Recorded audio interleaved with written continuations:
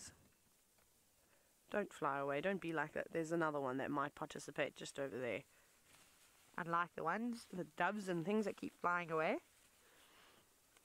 Very busy. Also, very puffed up, just like the impala this morning. And I don't really blame them. It is, it is particularly cold.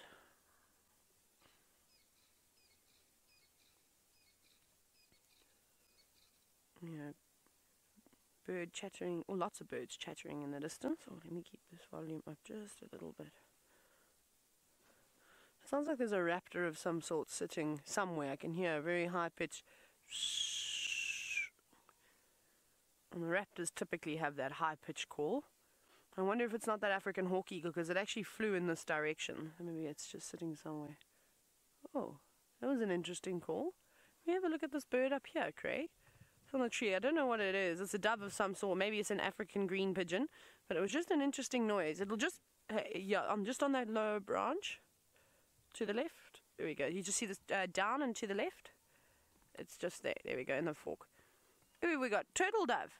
You were making a strange noise just now. I actually didn't recognize that call that you made.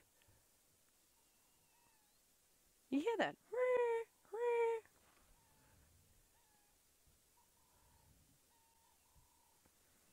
Very, very interesting noise. Even its movement is quite erratic.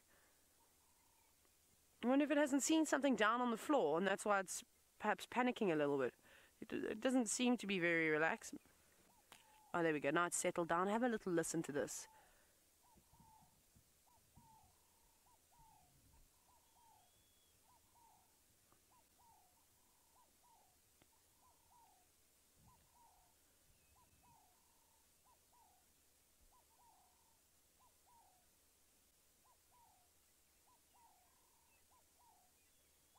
Sounds like a turtle dove with a bit of a sore throat.